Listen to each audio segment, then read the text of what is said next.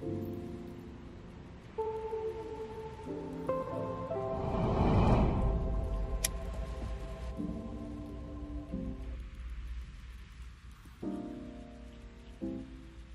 shit. Um, we're not quite ready. Um, just trying to, uh, you know, cl clear it out for us. Here, let's,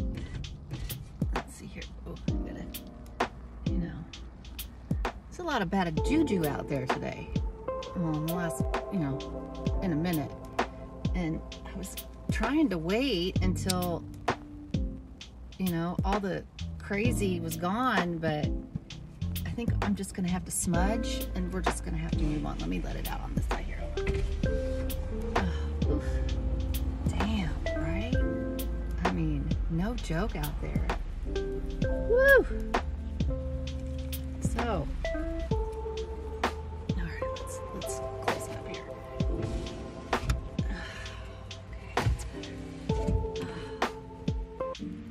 Oh, that feels better, right? Happy Monday, everybody. Amongst all the chaos of the last, uh, I don't know, maybe a couple weeks or so, but last week I was really inspired by uh, an argument, not an argument, a banter, I should say, with my girlfriend about perms, perms, perms, and then an absolute inspiration by, yes, I see a lot of Silver Sisters, uh, you know, that are in the community and stuff, but I actually saw a Silver Sister that was in my little herd of people, the people that I grew up. It was somebody else that was, you know, in my high school circle. And I spied her on on the Instagram and I was like, oh, that looks like, oh, oh, is it? Is it? Oh, we need to check this out. And she says, yes, yes, I am. And I was like, hell yes. So let me backtrack a little bit because I got to be fast because it's getting hot.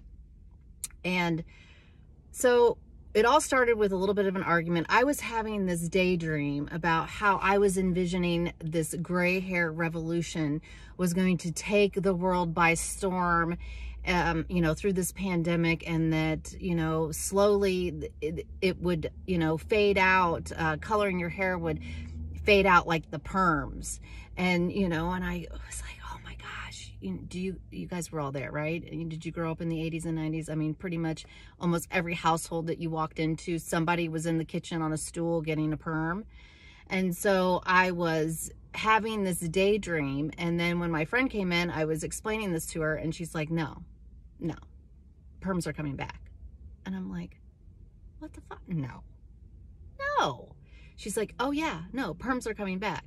So we had this whole argument and I'm like, no, I don't see perms. So I want you to tell me in the comments, do are, are perms coming back? Am I, I mean, I'm okay with mom jeans. I'm okay with neon, but perms, I'm, I, I don't know that I can go there. And, oh gosh, do you remember the smell of the perm? Do you, I mean, I remember that permeating like every Saturday in, in somebody's house between hair cutting and perms. So anyway, I, I need some backup from you guys to tell me that, tell me, because she's like, oh, even, you know, the kids are doing it. I'm like, well, I mean, I kind of have a kid and she's, you know, seems like she would be kind of on top of that or I would be seeing that and I'm not seeing that. So please break the tie on that if you can down in the comments. But what happened quickly after that little banter was then I saw my friend who was in my herd who had kind of gotten onto this whole same vibe. And so I was like, and if you're watching, I fucking love you. Thank you. And um, so it just kind of reinforced that whole um, feeling that I was having initially about this gray haired revolution. And so I it, okay, so I am going to tell a story. If you are, I love documentaries. So if you are a documentary person and you haven't watched I Am, it's kind of an older one. But if you, if you love, doc, and it's, this is going to be a spoiler alert probably. But I just thought it was such an interesting thing because my background is in biology, psychology, and philosophy. And in this documentary, they are um, actually trying to decide there's a herd of deer and the herd of deer have four different watering holes that they go to you know, they pick a different watering hole each day that they go to. And so all of these scientists and everything are, you know, trying to figure out how they decide on, you know, who, who what watering hole they're going to go to, you know? And so a lot of people had different theories of, you know, who picks the watering hole because there was a group of people that were like, oh, you know, it's probably some alphas that go out and, you know, they scan or do a scope or a recon and then they pull the rest of the crew. Other people was, you know, were, had different ideas. And so they paid attention and they watched and they watched and they watched. And so what they found was very interesting is that they would all be grazing in the herd in, you know, the plateau or wherever they were enjoying their time. And then all of a sudden, one little deer would pop its little head up and kind of move its nose in one direction. And then they'd all just keep grazing along, grazing along, grazing along. And then another little deer would pop its little head up and kind of move its nose this way. And then very, very slowly, little deer heads kind of popped and their noses kind of moved to a particular watering hole of the whatever that they, you know, chose. I think there was like four different ones. As soon as that balance went from over 51% basically once once there were enough noses that were 51% noses going towards a watering hole the entire herd just moved to that watering hole. No question. And ironically it was the alpha bros that were like yo dude we're what? We're moving? They're like yeah we're moving. We're, we're going to this one. And they were you know probably fucking around in the back whatever you know so it just it was interesting because it wasn't there wasn't a hierarchy in it it was an actual true democracy of animals choosing. So I don't know if they, you know, had different smells or whatever it is, but it was a choice that was collectively made. So it just goes to show you that, you know, you don't have to be, you know, a crazy aggressive in one direction or another. You just make your vote, okay? And so I love watching these women make their vote and they make it so quietly and this decision is just so beautiful. And then to see it in my own, feeling like my own herd of women, I was just like, yes, yes, yes. It was like the best fucking feeling on the planet.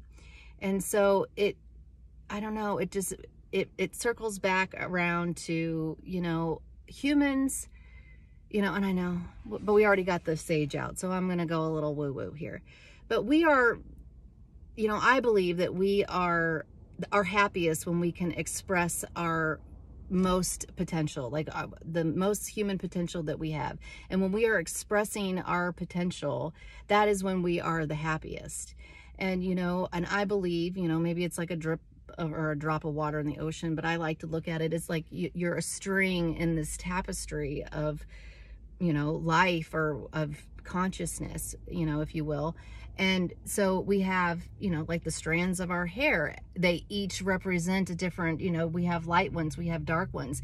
And together, the whole hair together creates its own design, just as you are in this tapestry. You know, if we let people express themselves in their greatest human then everyone is happy. You know, world peace starts with you. You know, if everybody was taking care of themselves, you know, what a great world it would be. And so, I just thought it was interesting to see that. And I also found it very interesting that, you know, a lot of this woo-woo shit is above, you know, above the hair, if you, you know, would, I guess you could say, which is also ironic because that's also, you know, your crown chakra ladies. And so that's a recognition that you are just a spirit, you know, having this human experience for whatever time that we are allowed here or what, you know, depending on what your background is and what you believe in, what you've set yourself to, you know. I personally am more of on a simulation belief and I think that, you know, we maybe have created this whole entire game, you know, for ourselves. So it, it's an interesting uh, thought experiment in things that trigger you and the obstacles and challenges that you have. If you are creating a game for yourself, then you know, again, it goes back to my last video. You can manipulate yourself better than anybody. So you would also know exactly how to make yourself stretch and expand in order to get the most out of this human experience you know so keep that in mind. But i wanted to hop on here because holy moly moly i got a community tab open and it's the little things. It is the little things. But um i'm so appreciative of those little things and i'm so happy and i'm you know excited to see where all of this goes and i'm excited to collaborate with some of you and um just i you know i really do believe that as a creative person um, that's looking at this as an outlet for me and um, and a support group. It's like an all-in-one. It aligns with everything so so greatly with you know what I want to do and the beautiful women that are part of this community in general. But um, you know, I'm excited about the future and I appreciate everybody's support and and love through all of this. And so if you're finding yourself, you know, feeling triggered or feeling anxious about the future, just realize that, you know, we, the gratitude, and I know sometimes it's hard to find the things that you are happy about, but gratitude is so important. And when we take the minutes that we need to, you know, whether it's meditate or just get it, do something that makes you get into your body, whether it's, I don't know, an art project or even coloring. Those, I mean, I do that with my kid all the time. Those adult coloring books are amazing. But something that can just kind of get you in uh, a present state of mind it's easier to find that gratitude, especially when the world is so freaking chaotic as it ha has been.